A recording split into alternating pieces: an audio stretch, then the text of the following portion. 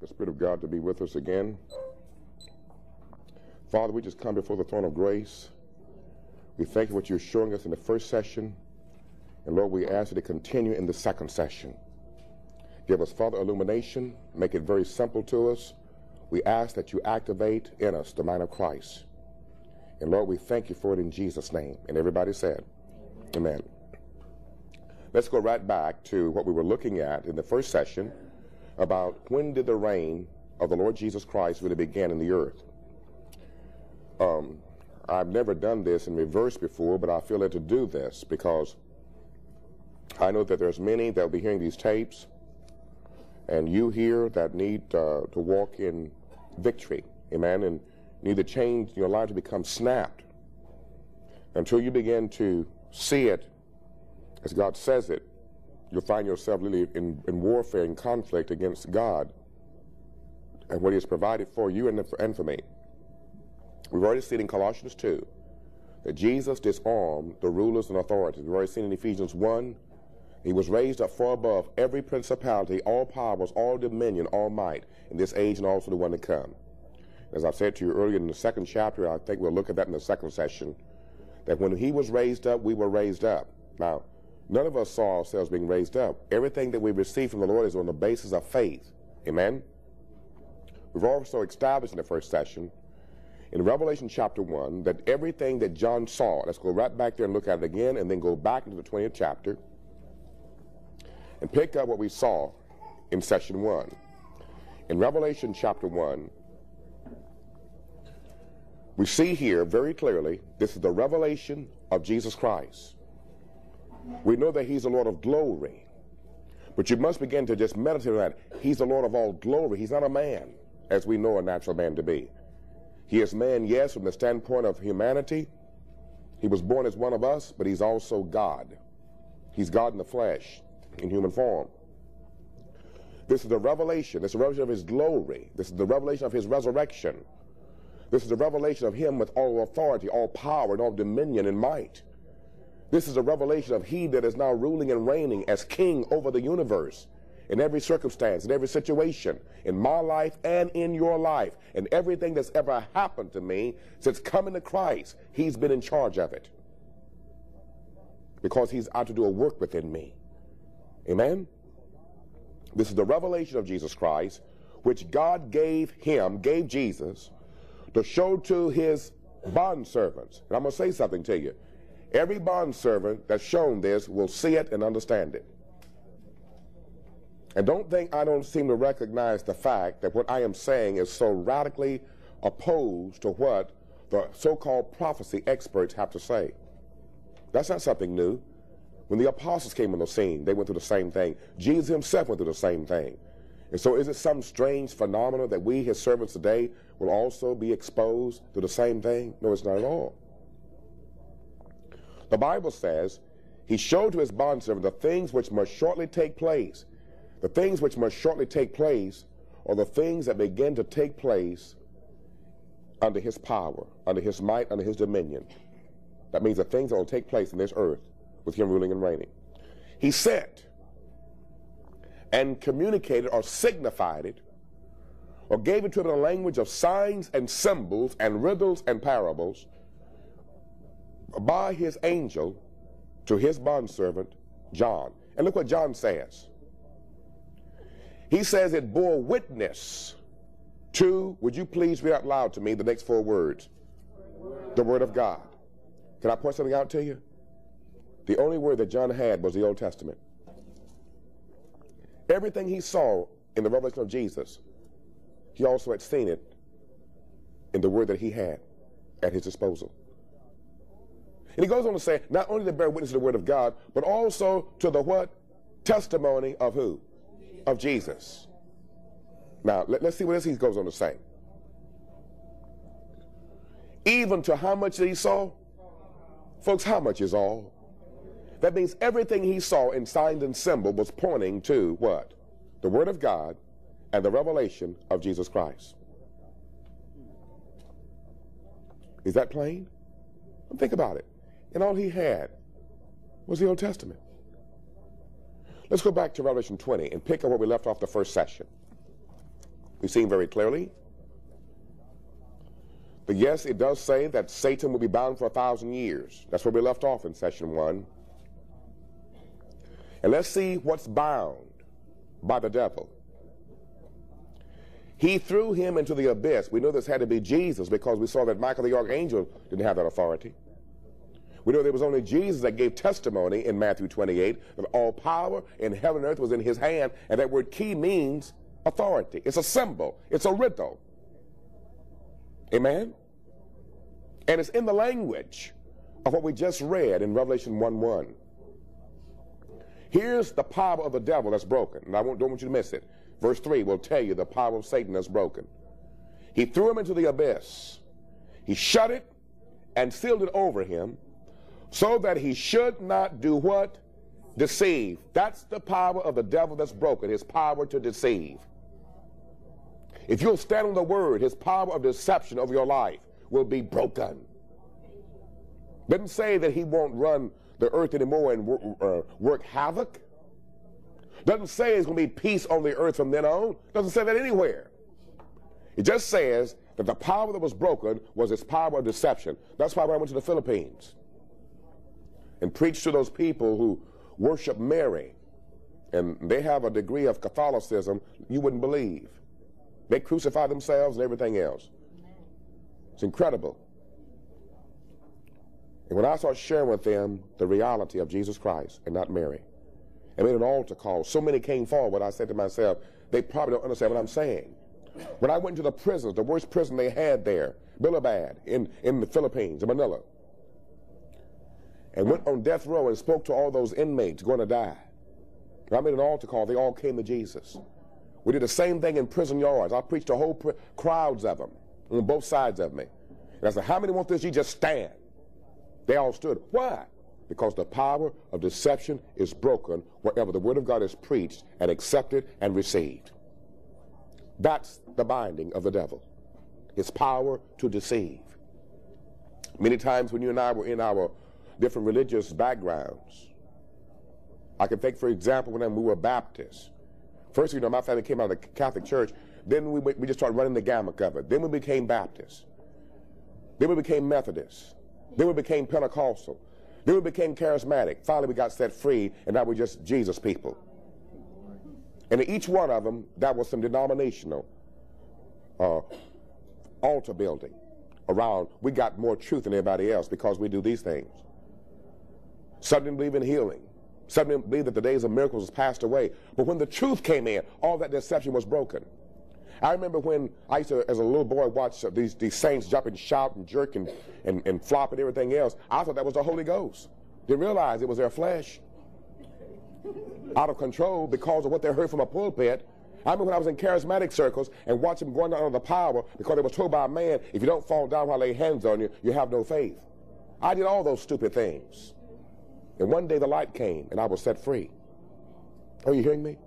I remember when I used to hear preachers holler and shout with a song in their voice. And I kept saying, I'm trying to understand what the guy is saying. And one day it dawned on me, just, just as, a, as a kid, the Lord said to me, when I spoke, I spoke in such a way that even the children understood me. And something dawned on me.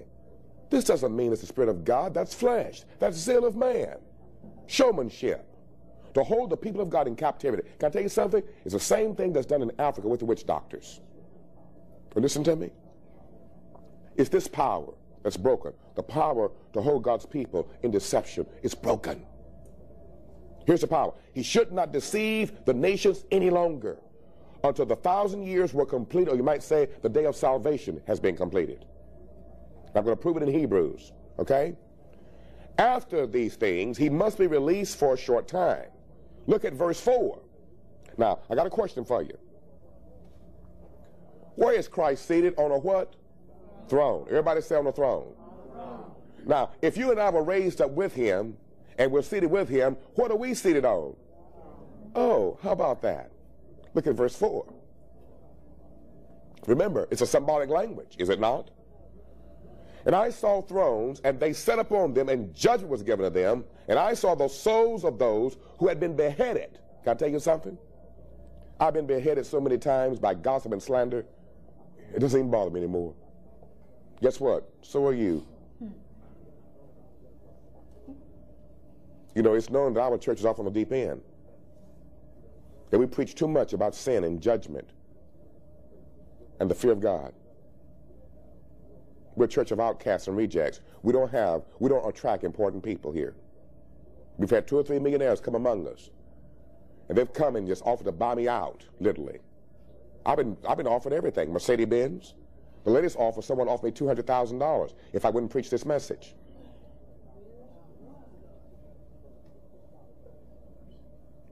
And some of the people we've kicked out were people with money. And the staff here can tell you that. We're beheaded. We're literally talked about so bad that people think that we're crazy. The, the word for beheaded is martyr. That's what the Bible says. Ensure you be witnesses of me. It talks about when you receive the Holy Ghost, you become a martyr. You don't live for the world or what people think anymore. You live for just Jesus Christ. That's a martyr. And you are supposed to be living as a dead man, dead to this world, the things of the world.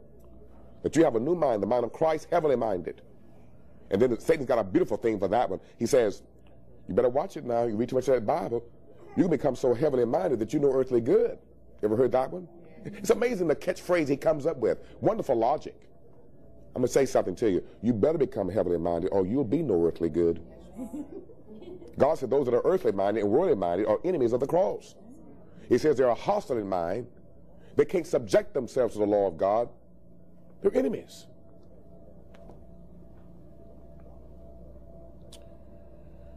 Why were they beheaded? Look what it says.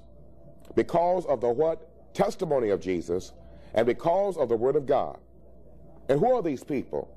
They're those who had not worshiped the beast or his image. You think he's talking about people going to a church somewhere and there's a big beast up there and they're bowing down and says, Oh, I worship you, oh great, beautiful high beast. No, it's a symbol. It means that they're really worshiping Satan and they don't even know it. They don't even know it. That's what it's talking about in Romans 12 when it says, Don't be conformed by this world, shaped to this world, but be renewed in the spirit of what? Your mind. Oh, how about that? Look what he goes on to say. They would they had not received the mark upon their forehead. You know what the mark of the beast is? It's a mind that gossips, that slanders, that walks in sin, that imagine lustful thinking. The mind of Lucifer, the mind of wickedness. And the Bible says, and they didn't receive it upon their hands. You see? See, look, notice me. Look, look. Whenever you read about the service of God, they're never marked on their hands. Never. You know why? Because their hands don't belong to them. And they don't do anything in their own strength. Because it's not by power, it's not by might, but it's by my spirit, says the Lord. And they only go in the mind of Christ. They go forth, and Christ in them does all the work. They, does not, they do nothing in their own sweat. The life they live is a rest in Christ, and He rules and reigns. But those that have the mind of Satan, they do everything they can to please themselves. You understand that? They're marked. This number 666 is not some stamp that somebody's going to be stamping you in the head or stamping you on the hand. It's the spirit. It's the way you think. It's a depraved mind. And the mind of God is 777. And you're going to see that the number of six is the number of man. That means you can have all the sixes spread across the board you can think of. It means no matter what man does in the greatness of his power and strength, it never come to the number seven, which is the number of God. That's all it means. Remember, everything he saw was in symbols, figurative language, riddles, parables. You must begin to see everything from the mind of God. The number 1,000 here, can I tell you what it means? It simply means salvation. The time when the reign and the rule of Jesus is one of salvation, that whoever calls upon the name of the Lord while he's reigning and ruling, they shall be saved. That's all it means. I'm going to prove it in Hebrews, okay? So the number 1,000 can stand for how many days? Shout it out to me. Everybody say it. So it's okay to interchange those because it's what the Bible says. Is that not so? Don't forget that one day. One day. Okay?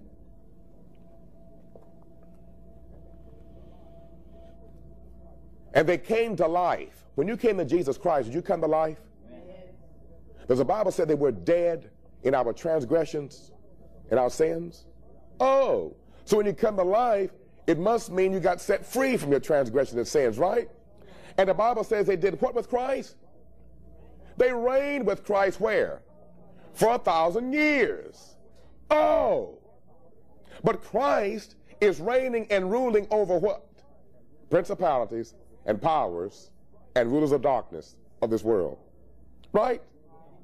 Yeah, how about that? In fact, let me give you a reference for that. Hold your place. I'm going to come right back just real quick. Go to Revelation 5.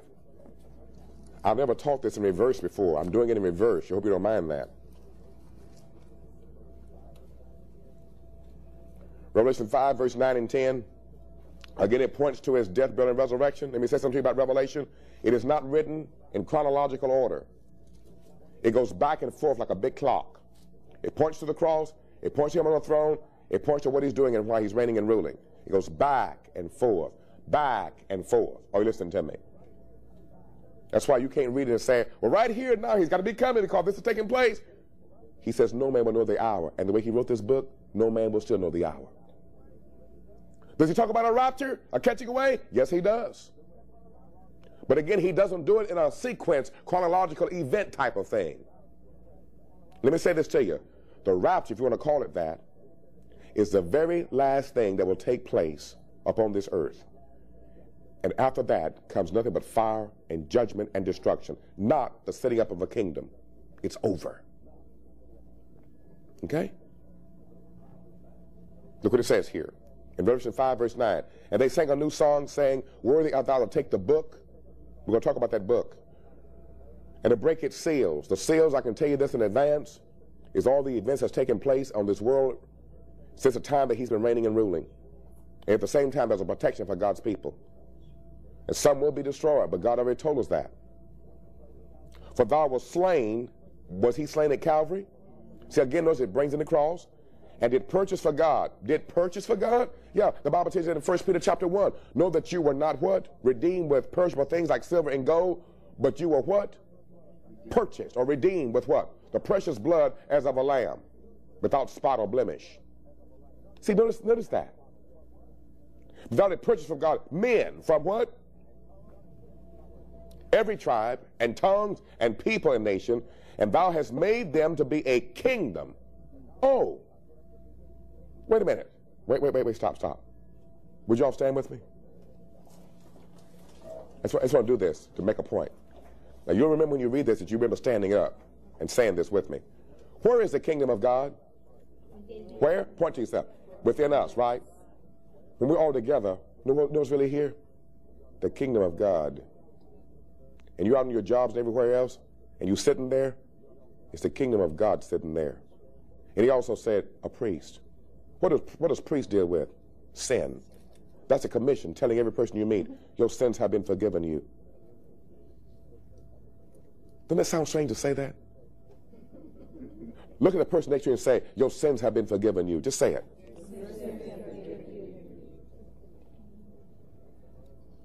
Kingdom, priest, under God.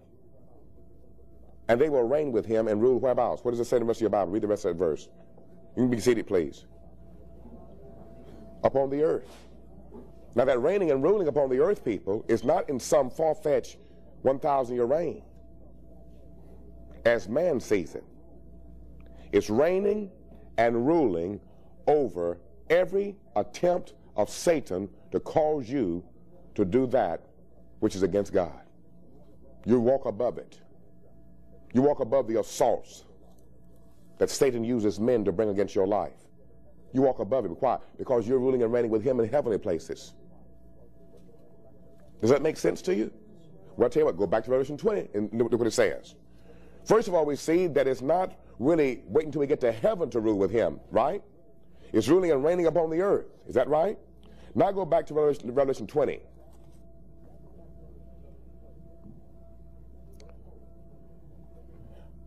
Verse 4 the B part. They came to life. That means the time when you got saved. And they reigned with Christ for what?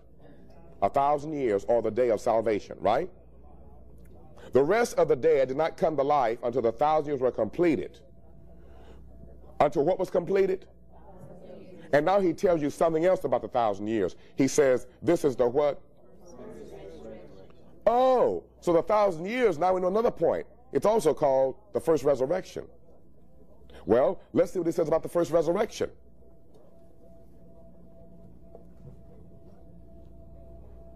Verse 6 Blessed and holy is the one who has a part in the what? First resurrection.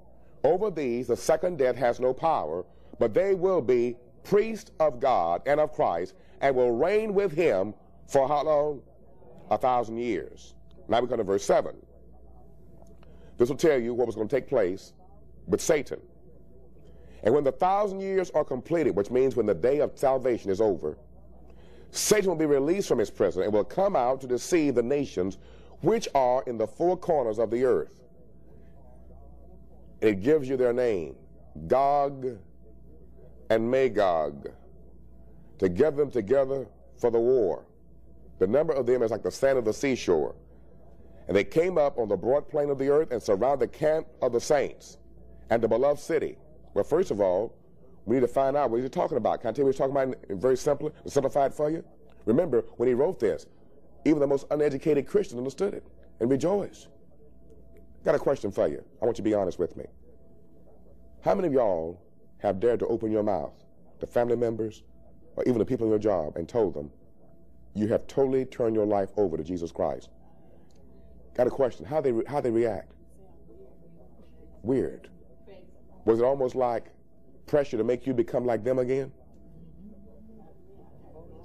Okay, you catch what I'm saying though? But you catch what normally happens to you? See, they begin to come against you. He stirs them up to come against you. They're part of that army of Gog and Magog. I told you before, the battle of Armageddon has been taking place ever since Jesus ascended up into glory. And the whole world will end up literally turning against all the saints of God. For example, it says they surrounded the beloved city. Who do you think the beloved city is? What do you think that spiritual Jerusalem is? The heavenly Jerusalem is? Who do you think it is? Anybody got any ideas? It's us. Now, we're going to let the Word of God prove that, aren't we? Because you see, we got many waiting for that thousand years saying, I'm waiting for that heavenly Jerusalem to come down. Can I help you? When you said, Jesus, save me, the new life and the new world was birthed in you. That's what it says, sister. That's right. He says, over these, the second death has no power. And you're going to see what the second death is. Can I tell you what the second death is? It's being thrown into hell for all eternity. Let's keep going. Now, he's going to tell you what the outcome of Satan is going to be in this book. And fire came down from heaven and devoured them. And the devil, verse 10, was who deceived them. Catch that. His power to deceive is restored. You know why? Because the world rejected what he provided at Calvary. Can I tell you what, what makes you deceived? Anytime you're deceived, it's when you're rejecting what has been already been provided for you at Calvary. That's what causes us to walk in deception. Got something else that causes us to become deceived? When we subject our lives and submit our lives to men that claim they know God, and we bow the lies and the doctrines they teach us. And the devil who deceived them was thrown into the fire, the lake of fire, brimstone, where the beast and the false prophets are, and they will be tormented day and night and forever. And I saw a great white throne and him who sat upon it, from whose presence earth and heaven fled away, and no place was found for them. And I saw the who? The dead. Now, folks, now, let me show you something else strange about these dead folks. This is the strangest bunch of dead people I have ever read about in my entire life. When I first read this, it tested my brains. I kept saying, he saw some dead folks standing up. What happened? Were we watching something called Weird and watching our stories about a bunch of zombies? No, he said, you're dead in your transgressions and your sins.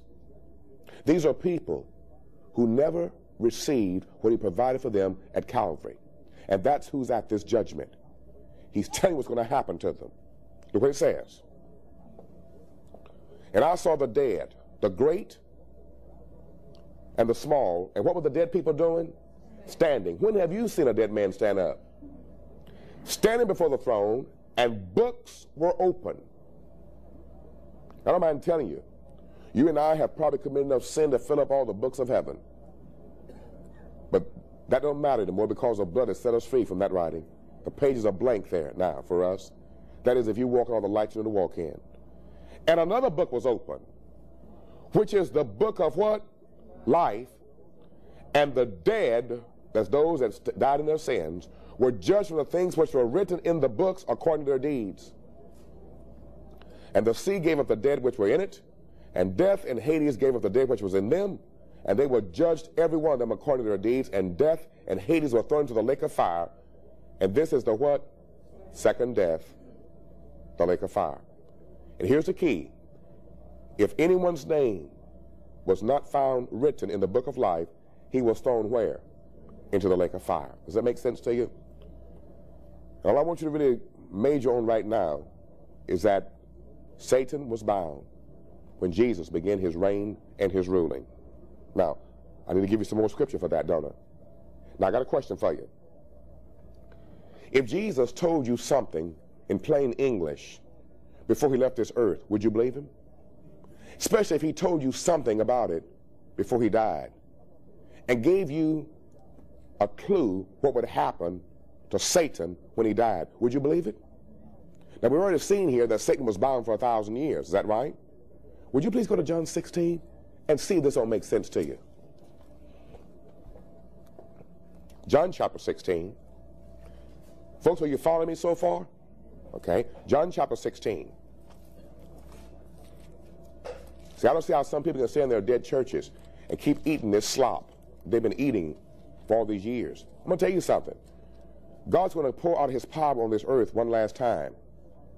But it's going to be for just a short testimony who the people of God really are. And I want to be found in that, in that bunch. I don't know about you.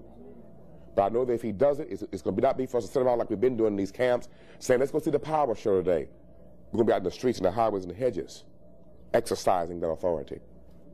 In John 16, these are the words from the lips of Jesus Christ himself. Now, if you don't believe him, just call him a lie.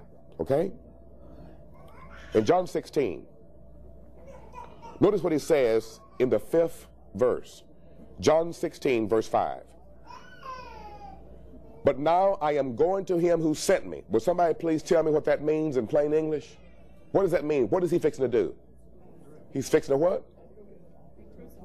Crucify. That's the only way he can get to the Father. Is that right? Through death. He's fixing to die. Now watch what he tells you. He gives you a clue to Revelation chapter 20. Here's, the, here's some of the clues of it. I told you earlier, everything in Revelation is found in the other parts of the Bible. Have I not told you that? Here it is.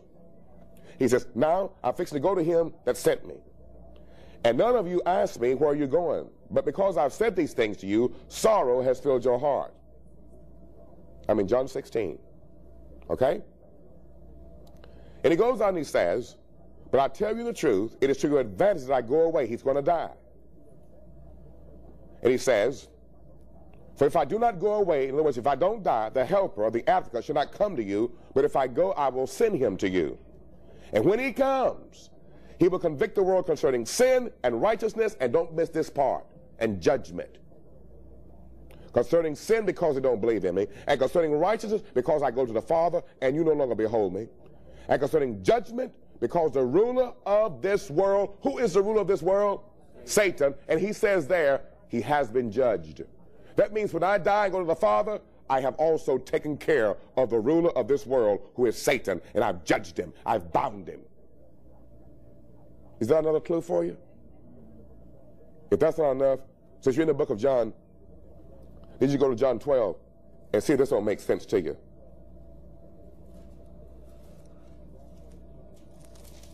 This is all pointing to Revelation chapter 20, when was Satan bound? John 12, look at verse 20.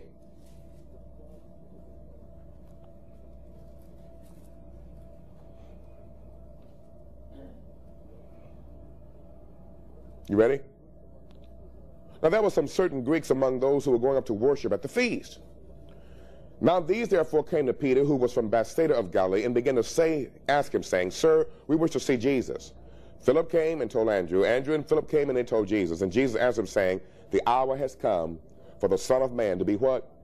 Glorified. Folks, is Jesus glorified? When was he glorified? Somebody tell me, please.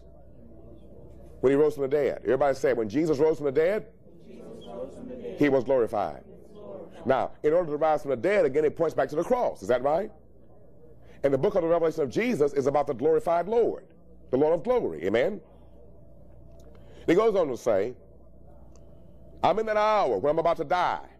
He says, Truly, truly, I say to you, unless a grain of wheat falls into the earth and dies, it remains by itself alone, but if it dies, it, it bears much fruit. He who loves his life loses it, and he who hates his life in this world shall keep it to a life eternal. If anyone serves him, let him follow me. And where, I'm, where I am, there shall my servant also be. If anyone serves me, the Father will honor him. Now my soul has become troubled. In other words, now we begin to see his humanity. In other words, I know I'm in the hour I'm to die. And the human reactions begin to take over.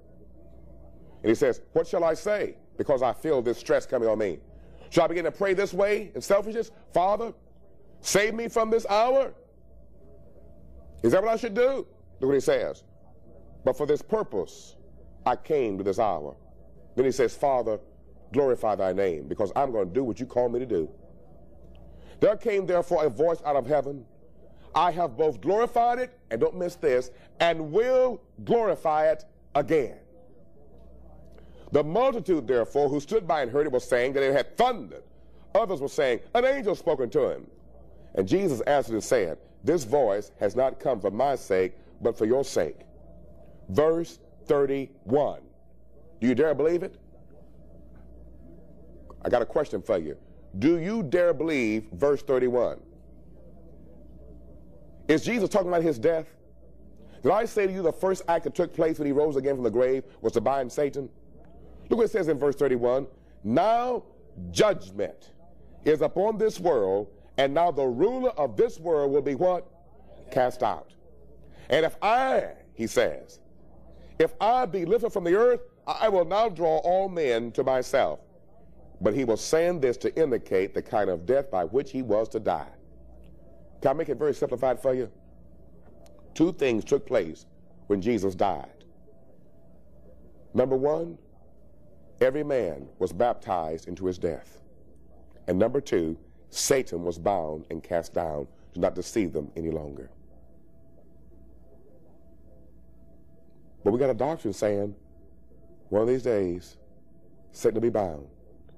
And we're in danger of doing the very same thing that happened to the Jewish nation when Jesus came in the flesh to a people that spent their everyday lives in the Word of God. What you and I are doing here today in this Bible school is what they did every day of their lives. They learned so much of the Word that when Jesus came, they missed it. They rejected Him. If you go to Israel, I've been there twice. You'll find them before the Western Wall, which would be known as the Wailing Wall, and they're bowing up and down, praying the Messiah to come. He's come, and they rejected him. He's delivered us, he has set us free, and we're in danger of saying, I'm waiting for Jesus to come and to set us free. The cross wasn't enough.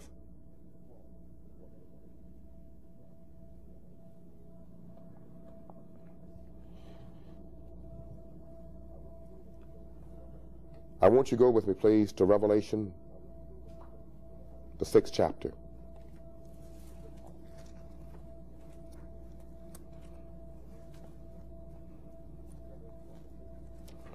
Revelation chapter 6. Notice with me.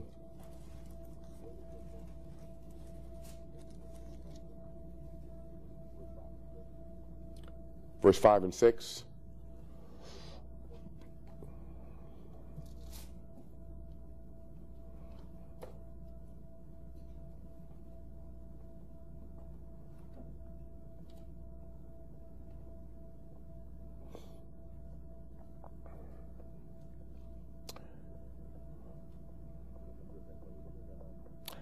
Do it that way. Let me, um, I was going to get into the seals. Let me just wait on the sales until you've had enough to digest what we're doing so far because I'm sure this is probably heavy for some of you. Let's go back to Ephesians 2. And um, continue the theme of what took place when he died. We've already seen that um, he's reigning and ruling. I'll tell you what let's do. Let's go back to Revelation 1. Let's do it that way. Revelation chapter 1.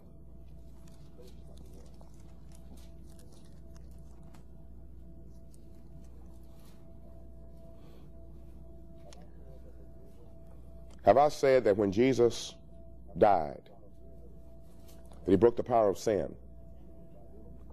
Good. See, can you buy this one? In Revelation 1, I want to begin at verse 4. John to the seven churches that are in Asia. In other words, this was written to the whole known church world. So this, this letter is not just for their day, it's for our day also. Okay? There was no other churches in this whole world than those seven churches when this was written. That means the whole known church world. That's what that number seven represents. First of all, he says, grace to you. We know that grace is God's power, his might, is that right? His authority, his dominion, his anointing to break every yoke. And peace. Colossians will tell you that the only way peace comes in our lives is through the blood of the Lord Jesus Christ. It's his blood that brings peace. From him, that means grace and peace from him, that's Jesus, who is, who was, and who is to come, and from the seven spirits who are before his throne. Did I say that everything in this book is symbolic? Folks, how many spirits is there? There's only one spirit. What this simply means is the Holy Ghost, who is totally perfected. The number seven means total perfection. See, notice the symbolism. Seven spirits. Somebody try to interpret this in a little thinking, they'll say, there must be seven Holy Spirits. I've heard one man with a lying doctrine, he says, well, there's really seven raptures. Now that doctor begin to sleep. So I'm warning you. And he's wrong. He's deceived. Okay? The Bible says there's one faith, one Lord, one baptism, one spirit. This is from Jesus Christ, the faithful witness, the firstborn of the dead. Folks, was he born from the dead? If he's the first, there must be a second and a third and a fourth. Somewhere you in that number. But he's the first of many brethren. Is that right? The firstborn from the dead. Have you been made alive out of your transgressions and sins? Can you say that you're also one of those born from the dead? He's the ruler and the ruler of the kings of the earth. Notice who the real ruler is. To him who loved us. And please read out loud the next five words. And he did what to us? Released us from what? Our sins. How did he do it? By his blood. Look at verse 6. And he has made us to be a kingdom. He made us to be a kingdom. That's the kingdom he rules and reigns over. His people. Priests to his God and Father. To him be glory and the dominion forever and ever. When were you and I made kings and priests? Would you please go to Ephesians chapter 2? I mentioned it earlier, but I want you to see it. Folks, is this making sense to you now? Talk to me. Okay? Any of y'all battling with confusion out there yet? Praise God if you're not. Ephesians 2, notice verse 5 through 7. Ephesians 2, verses 5 through 7. Even when we were dead, now you know when God calls us dead, in our transgressions, he made us alive together with him, with Christ. By grace you've been saved, and he raised us up and seated us with him where? In the heavenly places. And where are they located?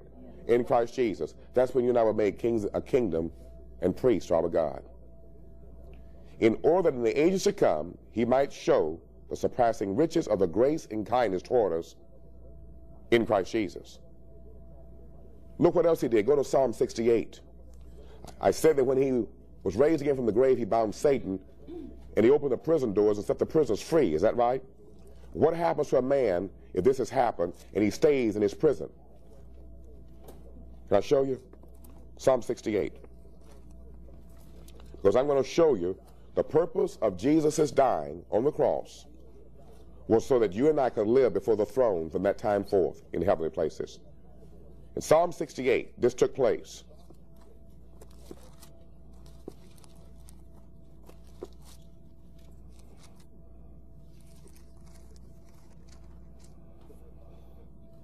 Look at verse 5 and 6. A father of the fathers and a judge for the widows is God in his holy habitation. God makes a home for the lonely. Would you please underline that? He leads out the prisoners into prosperity. You that have my tapes on true faith, you know what prosperity means. It means to have total success with God. It doesn't have one thing to do with material possessions, not one. Okay? You don't have those tapes on true faith, it's only six tapes, get them. You need to hear them. It will tear up the lies that we've, been, we've all been exposed to in our day. Or if you lead out the prison to prosperity, how about there's some people that's not set free yet? Why are they not set free? It tells you in the next line. Only the rebellious dwell in a parched land. Do you see that? That means they're still walking in sin. Is that plain? Well, let's see what that, where that place is that's a home for the lonely. Go to Jeremiah 17.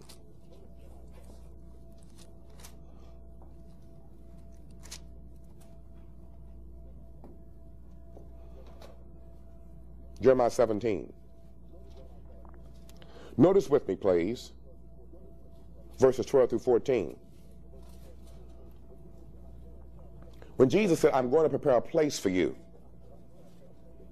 If I go to prepare a place for you, I will come again and receive you unto myself, that where I am, there you may be also. My father's house are many dwelling places. King James says mansions, which is wrong. It should be dwelling places. Because if it were not so, I would have told you. Is that right? He says, I'm doing this, and where I am, there you may be also. Where is Jesus right now? Is he on the throne? Where are we supposed to be right now? On the throne with him. Is that right? Is it making sense to you? It's places to dwell in him. Now, look what he says. Here's why he died, so you and I could have a right to this place. A glorious, what's that next word? Throne on high from the beginning is the what?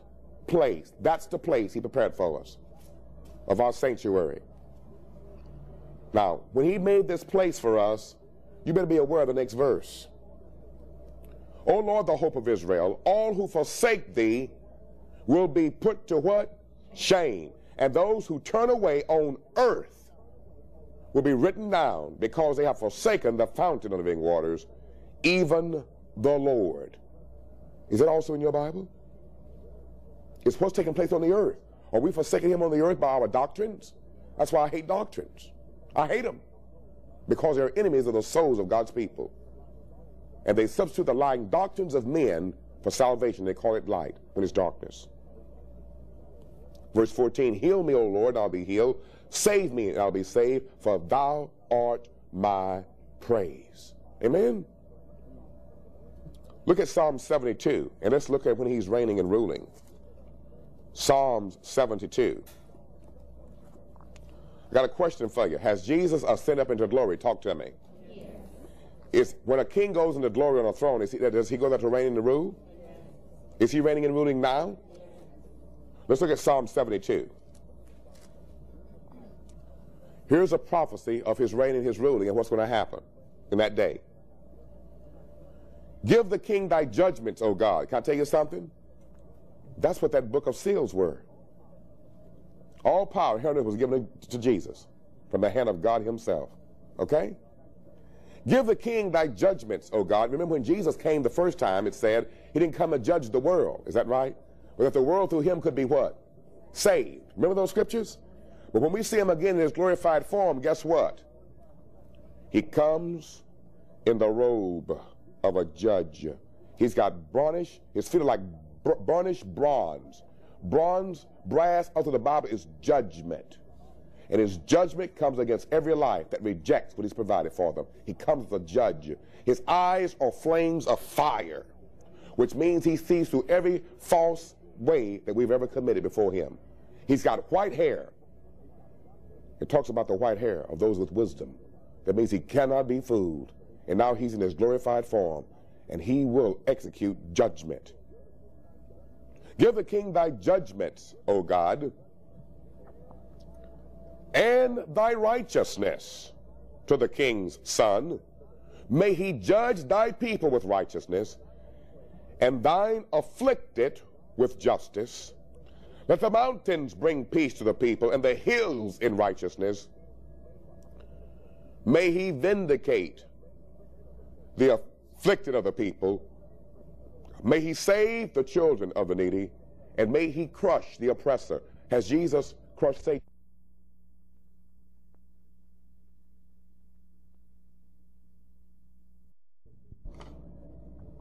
Didn't he tell us in Genesis that the seed of the woman will bruise the serpent's head? First of all, a woman don't have seed.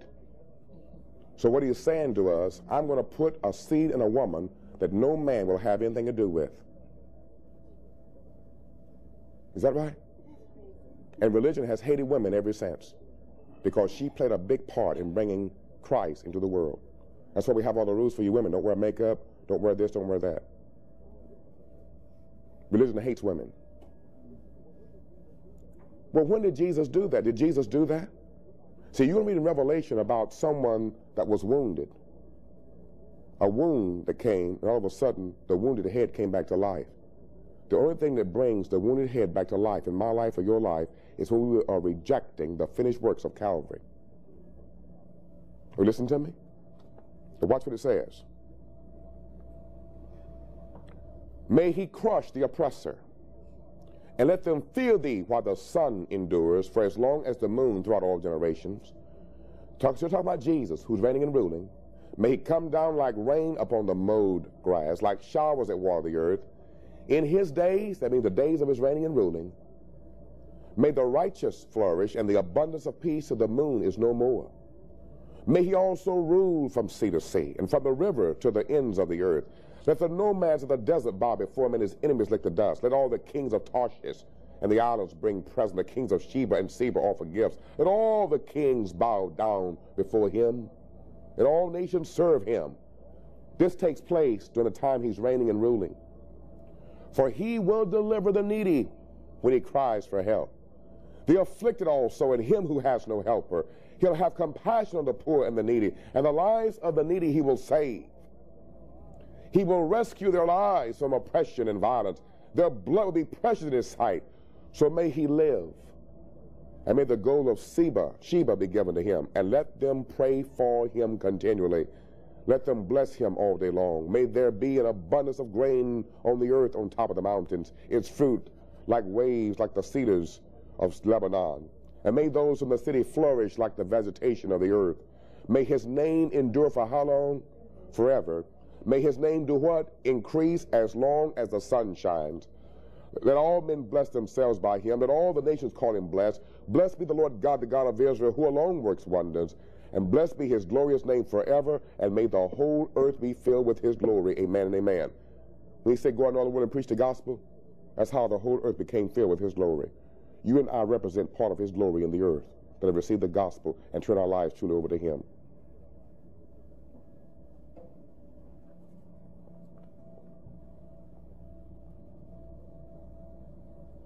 Now, we read about in Revelation 20 about Gog and Magog. I know that tree was Russia, didn't they? I told you everything in this book is symbolic. Now, let me show you something.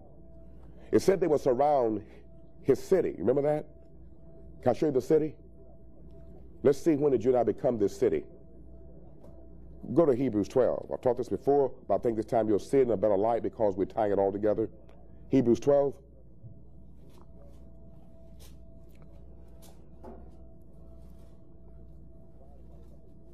And Zion is not something new. We've read about Zion all through the Old Testament. We know that natural Zion was a place that was a satanic stronghold. And this king bragged and said to David, You ain't going to come in here. You've conquered all the other things. The same thing Satan's telling you. Here's an area of your life you'll never be able to overcome. He's a liar. You'll never be able to put this problem down. He's a liar. It has already been put down. You stand and say, I proclaim victory over you in Jesus' name. I stand in Christ against you. And so David did something unusual. This king said, I'll use my weakest warriors against you and defeat you. You can't defeat me. Zion was a real place. And David went through the water gates, which means a type of the Holy Spirit. He went through the water gates and totally destroyed that stronghold and he made that stronghold become his stronghold. And so we come to Hebrews because we read about Zion in Revelation also. We know that's all symbolic. So Hebrews gives us the solving of this riddle, of this heavenly Jerusalem. I saw the heavenly Jerusalem coming down from above. That was you, your life coming into you from heaven. You and I were born from above. Is that right? How about that? Look what it says here. You've come to Mount Zion, verse 22, Hebrews 12, 22. And you've come to the city of the living God. He tells you where it is. What does he call this city of the living God? The heavenly Jerusalem. Look at me. What I'm talking to in this room today is a heavenly Jerusalem. If you're born again and washed in his blood. Everything you're reading here is describing salvation. Everything. Now you see a new name for salvation. It's called the heavenly Jerusalem. Is that right? Talk to me. Is it there? And all this is what has happened to you when you came to Jesus. You see, if you know, if you said, "Well, I wish there was another term that I could describe and using what does it mean when I came to Jesus," then I would say, "You came to Zion. You became a citizen of Zion." See, we're His ambassadors. You've come to the heavenly Jerusalem, to the myriads of angels. Well, see, did He not say that the angels of God encamp around those that fear Him? See, the angels of God only walk around those that are walking around the heavenly Jerusalem. When he said, Come here, let me show you the bride, and I saw the heavenly Jerusalem coming down from above. You just said, Hey, that was me. That was my salvation receiving of the Lord that he provided for me at Calvary. I became a citizen of heaven. And all those jewels you see described there, that's what you look like inside. You're looking at the jewels that are the beauty of holiness. We try to look at it in natural thinking. Go, jewels.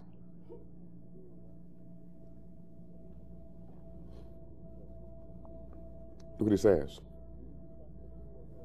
He says, You've come to the General Assembly and Church of the Firstborn who are enrolled where? They're enrolled in heaven. You've come to God, the judge of all, and to the spirits of righteous men made perfect. You've come to Jesus. It's amazing how easily you can accept that statement. How about all the rest? You can't accept this statement that you come to Jesus unless you accept all the rest. That's what's been happening. We've tried to accept this part about Jesus and said, one of these days, I'll be in the heavenly Jerusalem. One of these days, I'll be that place of that city of the living God. You're in that place now. What do you think Elijah did to his servant? He said, Lord, open his eyes so we can see. The Spirit of God's trying to open your eyes so we can see.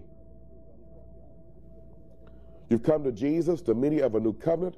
You've come to the sprinkled blood which speaks better than the blood of Abel. Jesus' blood is in glory, testifying concerning you every time you go there. I'm the proof they've been washed. I'm the proof they've been redeemed. I'm the proof they're justified. His blood speaks, the Bible says, of better things than the blood of Abel. Can you imagine the, the blood of Jesus testifying for all eternity that you have been washed, that you've been forgiven, that you've been redeemed, that you have been justified? And God says, because you've come to that place, here's a warning for you. Look at verse 25. He says, See to it that you do not refuse him who is speaking. For if those did not escape when they refused him who won them from the earth, that was when they had just a law. Much less shall we escape who turn away from him who warns from heaven. And his voice shook the earth then. That's when they only had the law. They didn't have his, his cross. But now he has promised, saying, Yet once more I will shake not only the earth, but also the heavens. And this expression yet once more denotes the removing of those things which can be shaken as of created things, in order that those things which cannot be shaken may remain. Therefore, since we receive a kingdom which cannot be shaken, let us show gratitude by which we may offer to God an acceptable sacrifice with reverence and awe, for our God is a consuming fire. Is that in your Bible? Say with me. I don't feel like it. I don't even see it. But I've come to the heavenly Jerusalem. Look what it says in Philippians 3.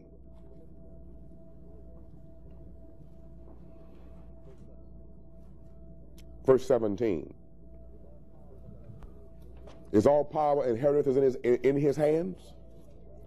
Philippians 3:17, brethren, join in following my example and observe those who walk according to the pattern that you have in us. Folks, you are supposed to have the pattern of Jesus Christ inside you. Verse 18, and this many here are the same many that's enlisted in Matthew 7. They go the broad way. They go the way of ease of their flesh. For many walk, verse 18, of whom I often told you and now tell you even weeping, that they are enemies of the cross of Christ, whose end is going to be destruction. See, they're refusing him that's speaking, whose God is their appetite. The King James says belly. Now, that's not talking about men or women with fat bellies. But it's giving us a picture of something. It's saying to us, there's some people in this world, all they want is to eat, sleep, and drink and be merry. And I've seen many people like they'll say, well, I would come to God if He would bless my finances. That's all they care about. So what can God do for them? Never what their part is to be for God. Whose glory is in their shame and, and look at their minds. They set their minds on what? Earthly things. What do you think the prosperity charismatic message was about? It, it was a delusion to train the people of God to become enemies of the cross. And we bought it. I know because I used to preach it. I'm telling you, it's from the pits of hell. Look at verse 20. We just saw in Hebrews that we belong to the heavenly Jerusalem, right? Look at verse 20. For our citizenship is in where? It's in heaven, from which also we eagerly wait for a Savior, the Lord Jesus Christ, who will transform the body of our humble state into conformity with the body of his glory. How does he do it?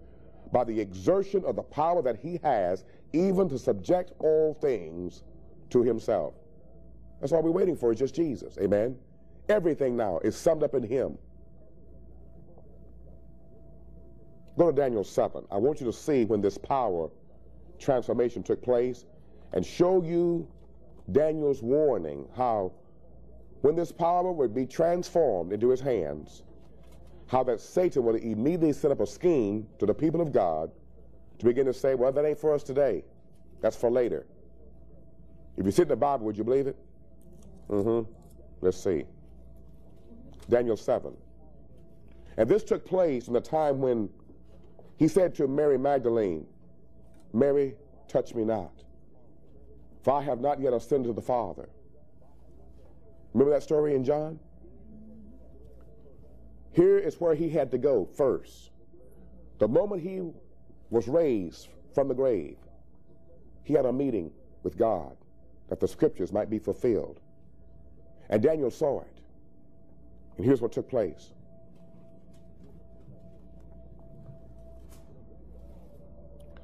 And when Daniel saw this, can I tell you something? He couldn't understand it.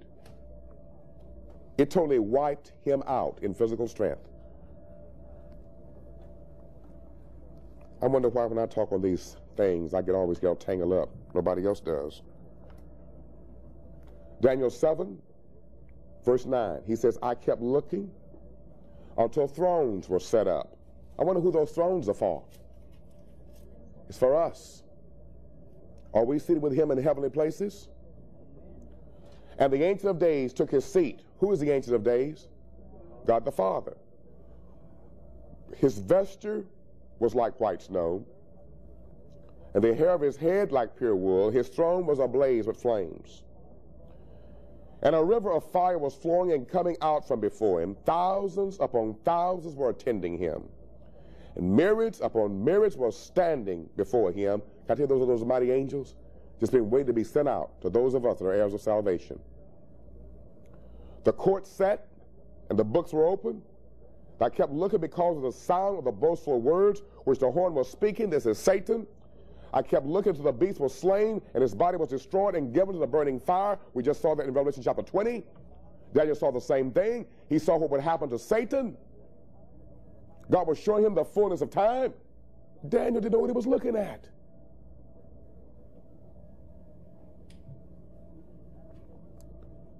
He said, as for the rest of the beasts, their dominion was taken away.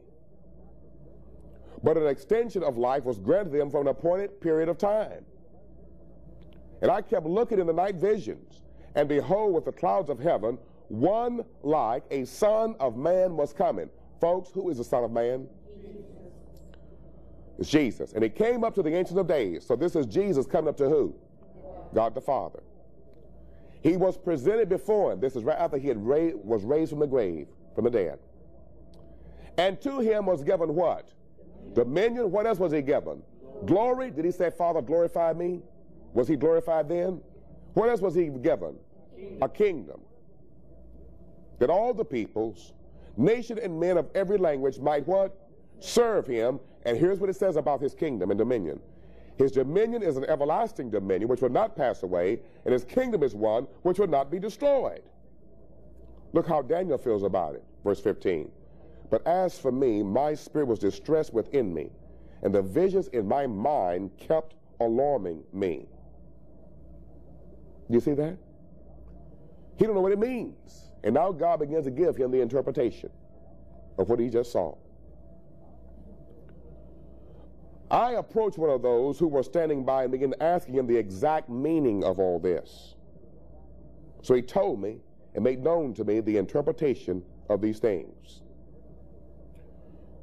These great beasts, which are four in number, are four kings who will arise from the earth. But the saints, don't miss that, the saints. Doesn't matter what happens in the earth. Amen? Look at the saints of God. There's two pictures here. What's taking place on the earth but at the same time what's taking place with the saints of God. That's why I don't care who's president. They can have Bush and Dukakis and the whole kitchen caboodle of them serving at once. It's not going to affect me any. But the saints of the highest one will receive what? The kingdom and possess the kingdom forever for all ages to come. I'm going to skip on down to verse 21 because we're going to talk about these different world powers. I kept looking, and that horn was waging war with the saints and overpowering them. Until the Ancient of Days came, and judgment was passed in favor of the saints of the highest one, and the time arrived when the saints took possession of the kingdom. Then he said, The fourth beast will be a fourth kingdom on the earth, which will be different from all the other kingdoms, and it will devour the whole earth and tread it down and crush it. Can I tell you this is the false church? Let me show you what he'll do. Verse 25. And he will speak out against the Most High. He will wear down the saints of the highest one. And here's what Satan's doing. And he will intend to make alterations in what? Times and in law. And they'll be given into his hands for a time, times, and half a time. That means for a season, God will let this deception blind his people. Can I tell you what, say you something? Got good news for you. That season has ended, and God is revealing himself to his people. But the court was set for judgment, and his dominion will be taken away, annihilated, and destroyed forever. And the sovereignty, the dominion, and the greatness of all the kingdoms of the whole heaven will be given to the people of the saints of the highest one, his kingdom will be an everlasting kingdom, and all the dominions will serve and obey him. At this point, the revelation ended, and as for me, Daniel, my thoughts were greatly alarming me, and my face grew pale, but I kept the matter to myself. You catch what he just said to us? One of the ways that Satan wears you and I out is to simply make alterations in times. You see, if Jesus is reigning and ruling now, what master plan he had using Scofield and people like Dake to tell us, this is for down there later on. Don't worry about it now. Just rest. One of these days, he'll come. He'll give you his power and authority, and he'll set up his kingdom on earth, and you'll have peace. The sad thing is, we bought it.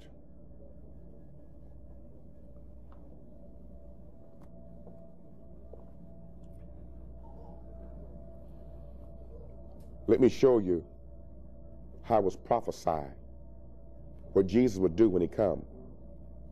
Would you please go to Zechariah, the sixth chapter? Do you people understand something? That it was against God's laws in the earth for a person to be a priest at the same time be a king? Did y'all know that? In fact, who was the king that got in trouble because he went into the uh, to offer a sacrifice to God as a high priest? Was it Uzziah and the, uh, and the, and the uh, leprosy broke out on his forehead when they tried to tempt him get out of there because he was a king he didn't belong there with the priest? They got leprosy. I want you to see this. How do we know when Jesus is reigning and ruling? Here's a sign for you. And I tell you something else? I might as well say this to you. If you're born again and saved, do you belong to yourselves? Who do you belong to? Guess what God does with you? He turns you into one of his symbols for the world. I'm going to tell you that. Well, I'm going to show you that, but I think I'm going to show it to you. You want to see it? You see, when you go out there planting seeds, like this man did last at the rock concert, he don't know it, but that was God using him for a symbol. Every one of us that have a part in ministry, we're just signs and symbols. That's why you don't worship us. You worship Jesus.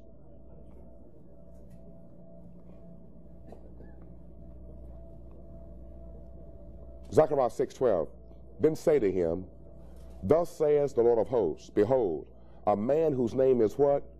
Branch. So don't miss that. Okay? What is this branch going to do? Now, before I show you that, back up for just a moment and go to Zechariah 3 about this branch. Now listen, Joshua. Joshua 3, excuse me, Zechariah 3, verse 8. Now listen, Joshua the high priest, you and your friends who are sitting in front of you. Indeed, they are men who are a symbol, which means all we are are just representatives of Jesus Christ. We're reflecting him. We're just a symbol. They are a symbol for indeed, I'm going to bring in my servant, the who? The branch. Now let's see who his servant is. Go back, please, to the sixth chapter. Say to him, 12th verse, Thus says Lord, behold, a man whose name is branch. And what it says in Hebrew, his name is sprout. He will branch out from where he is. Got a question. Where is Jesus right now, people? He's on the throne at the right hand of the Father. Is that right? He's going to begin to branch out from the throne, and he will build what? The temple of the Lord. Got a question. Does not tell you in 1 Corinthians 3 that you and I are the temple of the Lord? How about that? He's not building anything in natural Israel. Don't you understand?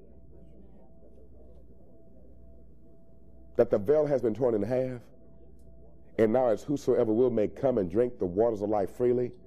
The other thing you can get, you, get crucified about is to make the same mistake that Paul made to tell you the Jews are not special people anymore. But today we're spiritual Israel. That's what the book of Galatians is about.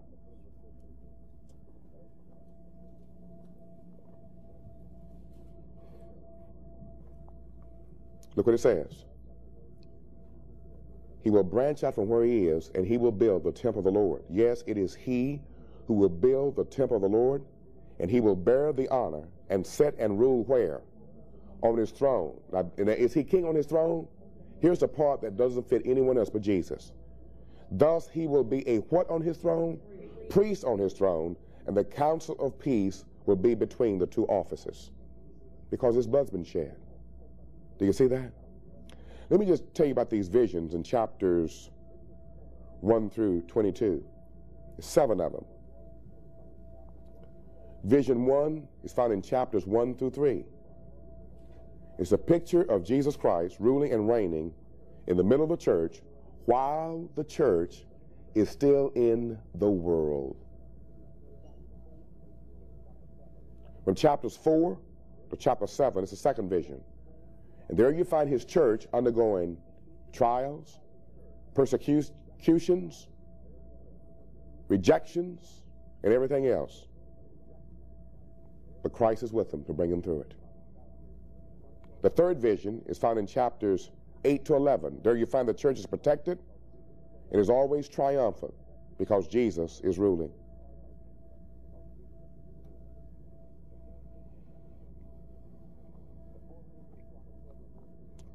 The fourth vision is chapters 12 to 14. Here is where Jesus begins to stand up to oppose Satan's work in the church. Chapters 15 16 is vision 5 is wrath to everyone who won't repent on the earth. The sixth vision is the fall of Babylon and the beast. And the seventh vision is what we looked at a little today the judgment of Satan and Jesus eternally ruling and reigning. The, lamb's, the Lamb is reigning. Say with me, the Lamb is reigning. Now let's go back to Revelation chapter 1 and let's see what John saw. And when we see Jesus, as John saw Jesus, can you imagine what a shock this must have been to John? when he once saw Jesus as he would see me or you?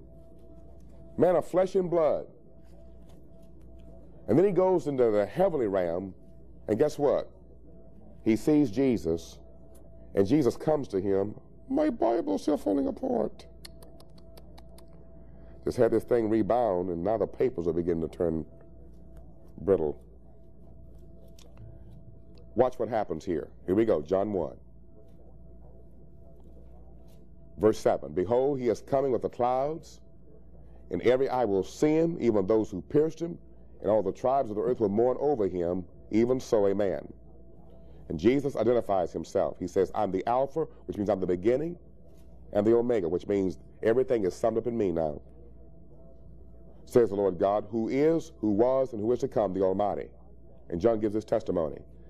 He says, I, John, your brother and fellow partaker in the tribulation now, don't miss that. Because you see, another doctrine is a tribulation period. the tribulation period's been going on ever since Jesus ascended to the earth, folks. He said, In the world, you will have what? Tribulation. Okay? I'm sure there's going to be a sum total of tribulation when the wrath begins to fall. But for the people of God, we're going through tribulation. And you're going to see a bunch of people come out of the tribulation, which means they come out of the world. Okay? And John is saying, I'm in tribulation. He's, I'm in two places. Think about this. In other words, I belong with Jesus, but you know what he says? I'm not living a life in a bed of roses and ease. He's because I'm totally committed to Christ. I'm existing in two realms. In this world, I'm in tribulation, but in his world, I'm in the kingdom of God. Look what he says. I, John, your brother, and fellow partaker in the what? In the tribulation. And what? Kingdom. Well, is he given up because of the tribulation? No, he says, and perseverance, which are in Jesus, was on the island called Patmos. Why was he put there in James? Because of the word of God and the testimony of Jesus. You know what's amazing about that? I'm going to show you. I'm going to show you now. This is going to happen to every one of us that truly turn everything we are and everything we got over to Jesus. Would you please go to Revelation 13? First of all, was John put there because of the testimony of, but because of the word of God, the testimony of Jesus? Okay. Would you say that the enemy was waging war against him to give up? Uh huh. I'm so glad you know that. Look what it says here.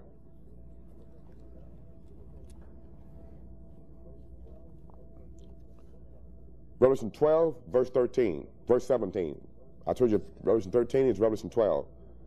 And the dragon was enraged with the woman. Folks, who is the dragon? Here's a symbol again. Again, it's not Puff the Magic Dragon. So the word Satan got enraged with the true woman. That's the church. Are you I called the bride of Christ? Okay, watch this. And he went off to make war with the rest of what? Her offspring. Are you part of that offspring? Who does Satan make war with? There's your, there's your tribulation. Those who keep the commandments of God and they hold to the testimony of Jesus. Do you see that? Go back to Revelation 1. John tells you why he was there. He says, I'm on this island because of the word of God and the testimony of Jesus. Here's a man in his late 80s or early 90s. He's having to work in a hot marble mine in chains the rest of his life. And I was in the spirit, he says, on the Lord's day. Nobody says the Lord's day? You see, whenever an emperor of Rome ascended up on the throne, it was called Emperor's Day. And so the people of God started calling their day, when their Lord ascended, the Lord's Day. In other words, if an emperor went to Rome, ascended on the throne of Rome on a Tuesday, guess what? Every Tuesday was called Emperor's Day. And they would worship the emperor on every Tuesday. When Jesus rose from the grave and ascended to the Father, it was on a Sunday. So guess what? The Christians reacted to that and said, we got the Lord's day. When he ascended and began to reign and rule. Just like when the Roman king ascended on his throne and began to reign and rule. They clearly understood this. We didn't. He's I heard behind me a loud voice like, like the sound of a trumpet. Folks, did he say he heard a trumpet or did he say he heard a voice like a trumpet? See, notice the symbolism? It begins immediately with the symbolism. Saying, write in a book what you see and send to the seven churches to Ephesus, to Smyrna, to Pergamum, to Thyatira, to Sardis, to Philadelphia, and to Laodicea. And I turned to see the voice that was speaking with me, and having turned, I saw, here's the symbolism, seven golden, what? Lampstands. Can you imagine seeing that? And in the middle of the lampstands, one like a son of man, or the son of man, clothed in a robe reaching to the feet. I that's a robe of a judge? And girded across his breast with a golden girdle, and his hair and his hair, his head and his hair were like white, like white wool. That means total wisdom, like snow. And his eyes were like a flame of fire, and his feet were like burnished bronze. He's come for judgment. He judges in righteousness when it has been caused to glow in a furnace, and his voice was like the sound of many waters. What was his voice like the sound of? Have any of y'all ever been to Buffalo, New York, and went to Niagara Falls in here? You have, sister? Did you hear the sound of that water? Was it awesome? That means when God speaks, it thunders. You see, he's looking at the man. He used to lay his head upon his breast. He ain't the same man no more. He's now in total glory. And John, like Daniel, turns a little pale. See, until you begin to recognize this Jesus that you're praying to is not some little buddy buddy. See, I practice seeing Jesus like this, and I get chills all over me. I'm praying to total power. I'm praying to total glory. I'm praying to total God and he's total man.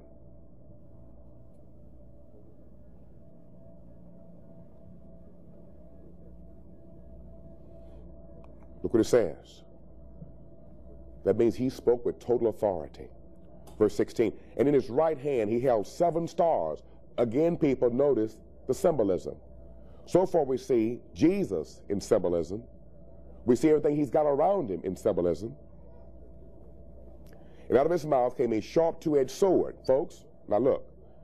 If you try to interpret this literally, you know what kind of picture you get? You get a man opening his mouth and a big butcher knife's coming out. Am I telling the truth? But notice what he's saying symbolism. He told you that, he said, he sent and signified it or communicated it, signified it by signs and symbols. And from the time he opens his eyes in the spirit, he sees nothing but signs and symbols. And those wonderful little suffering Christians there, during the time of the, of the reign of this evil king, when they got this book, it was like a breath of fresh air and water to them.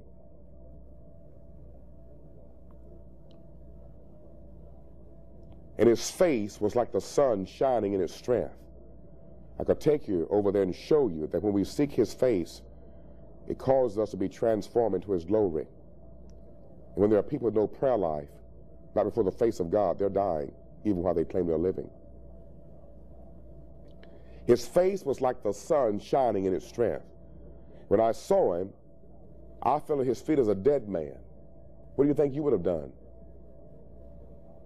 He laid his right hand upon me, saying, Don't be afraid, I am the first and the last the living one, and I was dead, and behold, I'm alive forevermore, and I have the keys of what? Death, and what else? And of hell. I told you he was an angel with that key. Well, when did he get that key?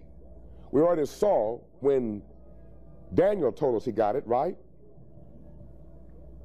I want you to go with the book of Matthew and show you how even this book testified about this key of all power.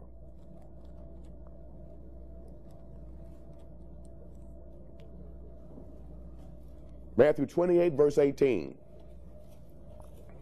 Is this still making sense to you? I want to ask you a question. Is this making sense to you? Is all power in the Lord's hand today? Here's a testimony of Jesus. John said, bore witness to the testimony of Jesus. Here's part of what Jesus testified. Everything I saw, he said, bore witness the testimony of Jesus. Here's the testimony of Jesus out of his own mouth. Matthew 28, verse 18. Jesus came up, spoke to them, saying, Would you please read that out loud to me? All authority has been given to me where? In heaven and on earth. You see that, folks? That's what John just said. Let's go back and see what he said. Jesus says, verse 18, I'm the living one.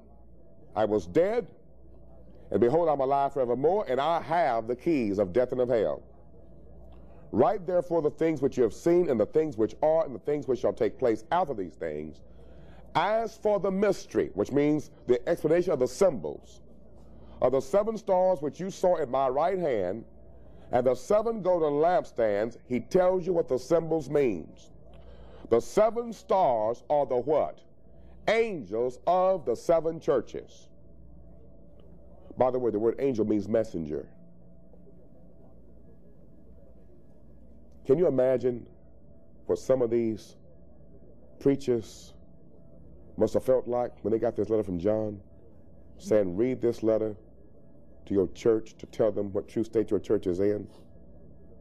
And I said to myself, I can imagine a super cat preacher today bragging about he's got the world's biggest church and his satellite ministries and networks. And all of a sudden, God sends forth a messenger in the church and says, God told me to give you this letter to read to your people. And yet to read to your people, you become a harlot. I'm not even with you anymore. Can you imagine the impact this must have had on those churches? The first thing he begins to deal with is the church of Ephesus. It was at Ephesus that Paul began his ministry, one of the most powerful revivals to ever take place. And it was out of Ephesus all the other churches that we're going to read about, the other six, sprang forth. And guess what happened to Ephesus? They got so carried away with all the power of God being displayed in their midst, they stopped loving Jesus and started loving the signs and the wonders and the miracles and the power of God in their midst. And Jesus said, You better be cast into hell. Now we're going to read this.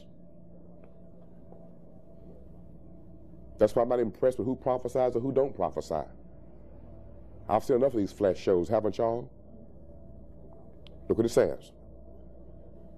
He says the seven stars are the angels of the seven churches. The seven lampstand are the seven churches. Is that in your hands? Is that in your Bibles?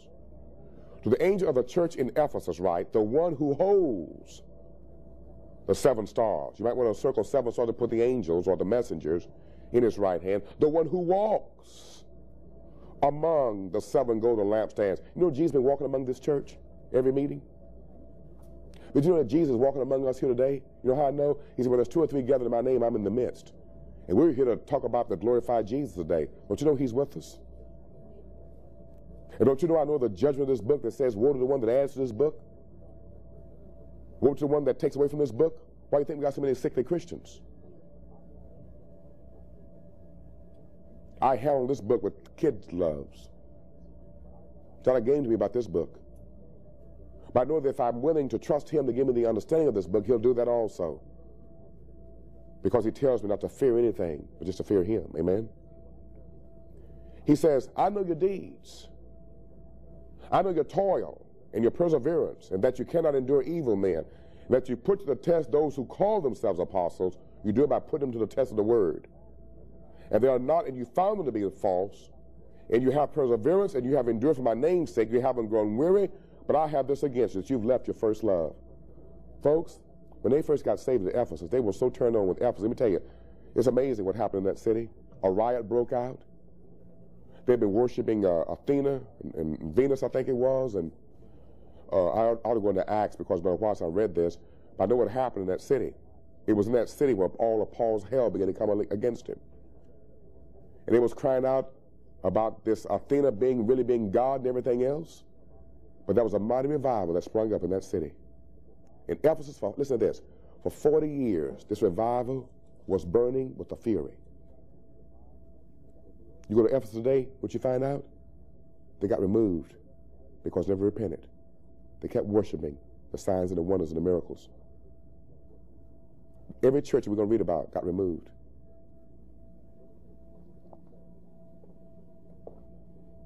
Look what he says.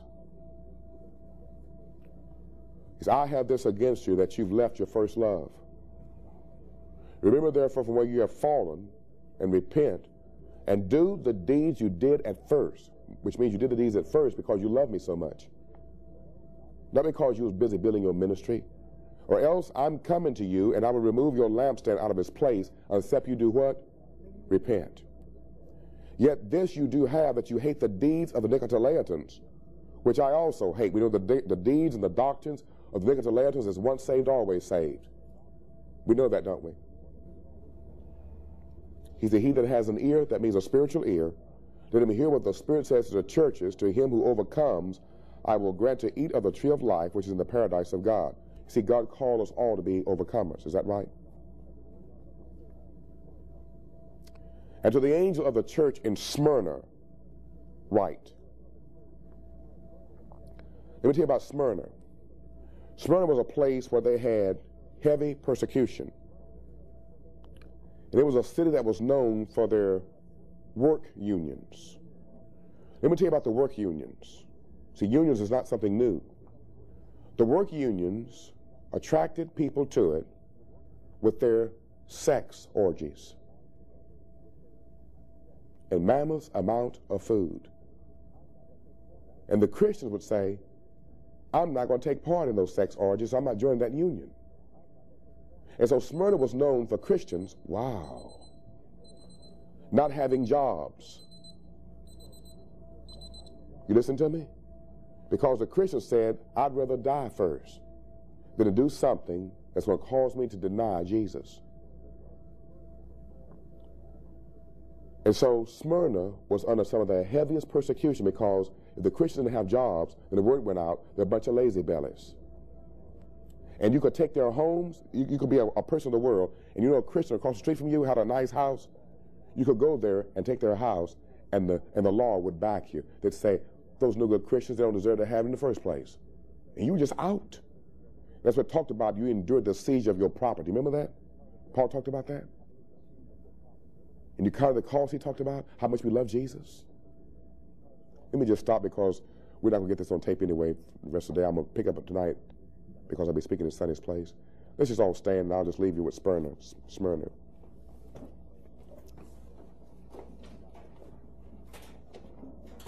Just pray out loud with me. Lord Jesus, Lord Jesus I know that you're God. I know that you're God. I know that you're Lord. I know that you're Lord. And that you're reigning and ruling now. That you're reigning and ruling now. And I renounce all these false doctrines. And I renounce all these false doctrines. And I break their power over my heart. And I break their power over my heart. And I ask you to come into my heart, Lord Jesus, I ask you to come into my heart, Lord, and to shine and to shine for forth and to live and to live and to rule and reign as king over all that I am. Fill me with the revelation of the knowledge of you. Wash out of me all these false lies that has held me in bondage and in prison up to this time.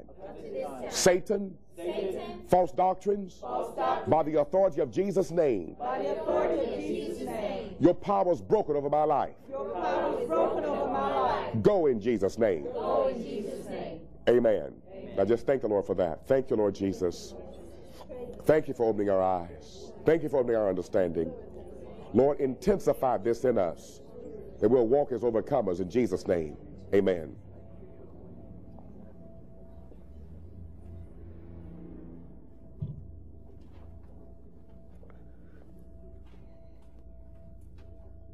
You can be seated.